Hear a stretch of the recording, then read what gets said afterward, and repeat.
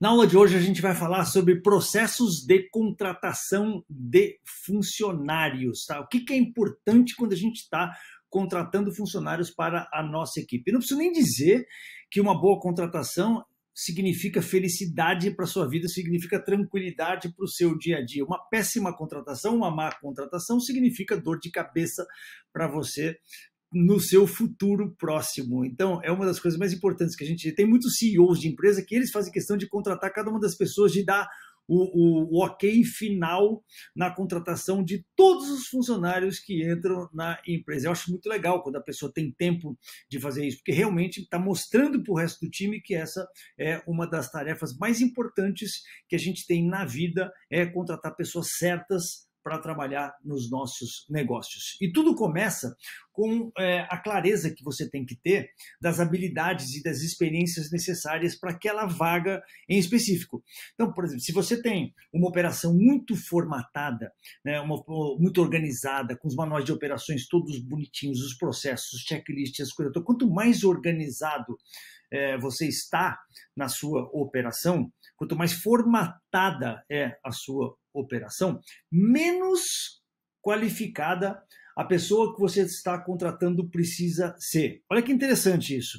Quanto, eu vou repetir, quanto mais formatado a gente está, menos qualificado a pessoa tem que ter que nem McDonald's. Né? O cara, quando começa a trabalhar no McDonald's, ele não precisa ser um especialista em cozinha. Por quê? Porque o McDonald's tem tudo bonitinho, tudo certinho, todos os processos o cara sabe. Você vai chegar no dia tal, vai ganhar um uniforme tal, a roupa tal, seus instrumentos estão aqui, o seu passo número um é esse, o seu passo número dois é esse, o seu passo número três é esse.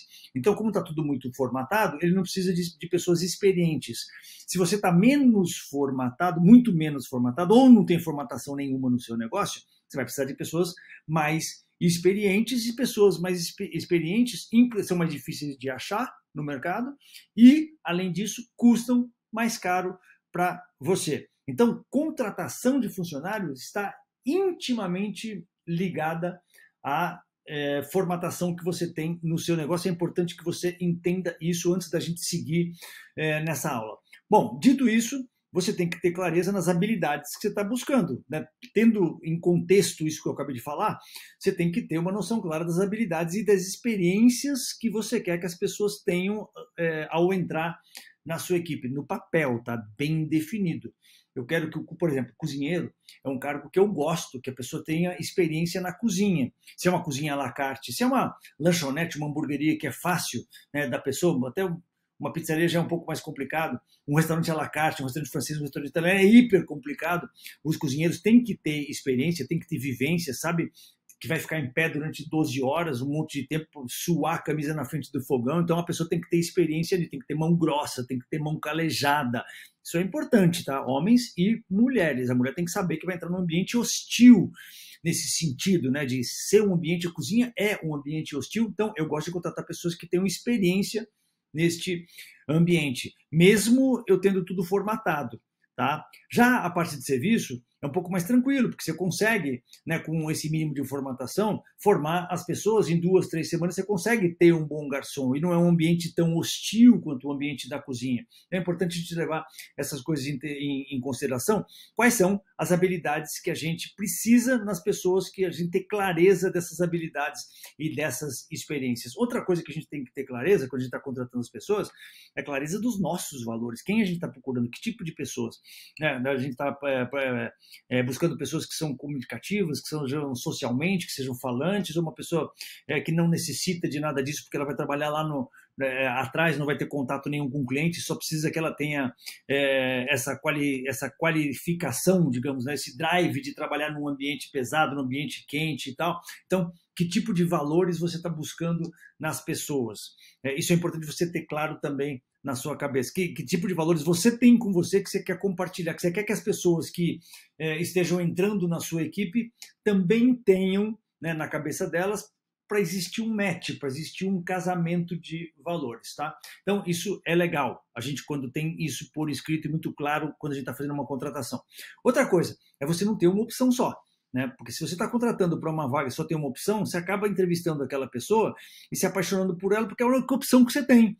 Então isso não é legal. É legal quando você tem duas, três, quatro, mais pessoas para aquela vaga, porque você pode escolher. Até porque, às vezes, dá ruim, né? Você tem uma só pessoa, você contrata aquela pessoa e a pessoa está fazendo também vaga, é, testes para outras vagas em outros lugares, você não é o único na parada e aí você está contando que aquela pessoa vai começar a trabalhar com você e não vai, ela vai trabalhar para outro, outro restaurante, para outro lugar e você fica na mão. Se você tem três, quatro, cinco pessoas para aquela posição, você sempre tem né, um segundo colocado que você pode contar no caso do primeiro desistir. Então nunca é bom ter só uma opção. Eu sempre digo para qualificar os funcionários, porque como eu gosto de ter mais opções, né, então para cada vaga eu gosto de ter três, quatro, cinco pessoas, eu gosto de qualificar essas pessoas por telefone.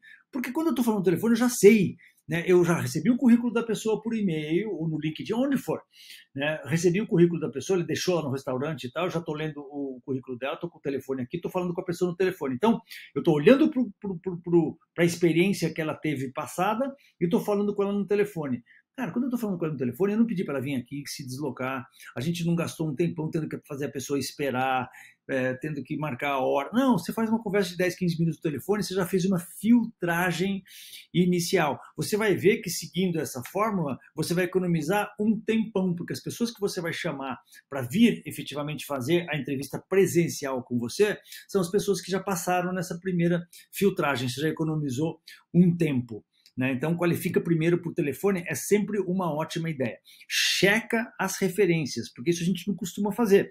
Nós, empresários, a gente é meio preguiçoso. Né? Você gostou tanto daquela pessoa que você fala assim: ah, eu não quero checar os empregos que ela passou, no, né? porque eu gostei tanto dessa pessoa, tão todo mundo é legal na entrevista. Todo mundo é bacana quando está fazendo entrevista, porque o cara está se vendendo, o cara está se vendendo, está se vendendo legal. Mas se essa pessoa deu uma tremenda mancada no último lugar que ele mencionou que ele trabalhou e procura esses gaps, essas lacunas no currículo da pessoa. Ah, não, eu trabalhei de é, 2016 a 2017 aqui, aí depois de 2019 aqui. Cara, o que, que você fez de 2017 a 2019? Procurei a fundo nisso, porque às vezes a pessoa está querendo omitir alguma coisa e você percebe quando você pergunta, você percebe na entrevista e vai atrás de pelo menos os três últimos empregadores, faça a sua lição de casa, seja diligente na contratação de pessoas. Vá lá e pergunta. Fala assim, ô, oh, você foi patrão da fulana de tal, você tem uma operação, eu também sou empresário, pô, muito prazer, legal, um dia a gente se conhece pessoalmente, mas hoje eu só estou aqui para perguntar a você sobre a fulana de tal, como é que ela era aí, quando trabalhava com você, eu posso contratar tranquilo, não preciso ter nenhuma preocupação. Cara, Todo mundo deveria fazer isso. Por quê? Porque ele também, o cara que você está falando, também é um empresário, e também deveria fazer isso quando ele está contratando pessoas para o negócio dele. Então, faça. Né, seja diligente né, nessa questão, checa as referências das pessoas. Outra coisa legal, faz teste, não deixa de fazer teste, eu faço teste com todo mundo, com executivo, com garçom, com métrico, com cozinheiro. Tem tem, tem, tem testes que são mais evidentes, né? Por exemplo, um cozinheiro, você faz o teste de cozinha, você manda o cara fazer lá, fazer um arroz, manda fazer uma batata, manda fazer o purê, ver o cara atuando, ver como é que ele segura os utensílios. Quem tem experiência na cozinha, né, manda a pessoa fazer um teste com alguma coisa, você sabe como a pessoa se vira, você sabe como ela segura numa faca, você sabe qual a postura dela, você, você consegue visualizar né? Se não é você que tem essa experiência na cozinha, você é o proprietário do negócio, mas não tem experiência na cozinha, chama alguém que tem experiência na cozinha para analisar junto com você essa pessoa, mas não deixa de fazer teste. Né? Teste de garçom, manda o cara escrever na comanda, porque se o cara tem uma escrita horrorosa, se ele não consegue escrever, se ele não consegue entender aquilo que você, aquele texto que você está mandando ele ler e replicar para você o que, que ele entendeu. Isso é importante, porque as pessoas vão receber coisas escritas de você, vão receber instruções, vão receber um manual de operações, ela tem que saber interpretar um texto. Então, isso, se for requerido para essa função, saber interpretar um texto, tem que fazer teste com as pessoas. Se é um cara do administrativo, você tem que fazer teste, né? Manda uma formulinha lá para o cara resolver na sua frente, né? Manda um problema para ele resolver na sua frente. Então, faça teste com todo mundo que vai trabalhar com você. Você vai se surpreender com pessoas que você que estão cantando que sabem fazer as coisas, que são feras nisso, que já têm experiência nisso, mas que na hora que você faz o teste não é bem assim. Você quer descobrir isso neste momento antes né, da pessoa ser seu funcionário e não depois que passou por toda aquela burocracia da contratação, de não sei o que, de documento, de integração, de designar um padrinho para aquela, enfim, aquela parada toda, né? Você quer saber disso antes, tá bom?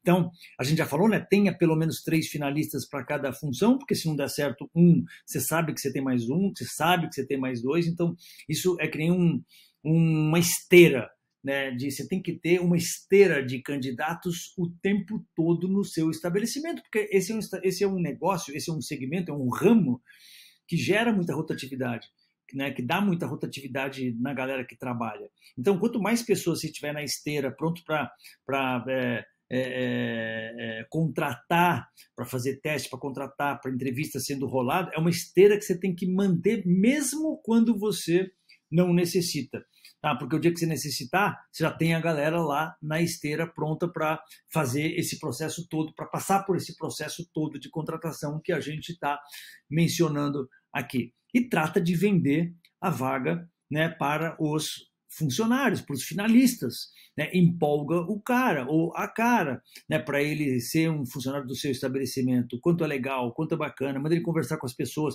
Quer dizer, isso se você tiver feito a sua lição de casa e realmente for um bom clima de trabalho, se você for realmente um bom patrão, se a empresa for realmente um bom lugar para trabalhar. Estou imaginando que seja. Né? Então, manda lá, se você gostou realmente do candidato, ele é realmente o finalista daquela vaga, cara, manda a pessoa, vem fazer o teste prático aqui, é, conversa com fulano, Beltrano, para eles te dizerem como é que é a questão da empresa, qual é a nossa cultura, o que, que a gente faz aqui, como que é o nosso time, se você tem orgulho disso. Né? Vende a posição para o candidato né, que você considerou como finalista nesse processo de seleção aí do seu negócio. Então segue esses passos no processo de contratação, não, não seja negligente, saiba que isso é uma das funções mais importantes que você tem na vida, é contratar pessoas boas para o seu negócio.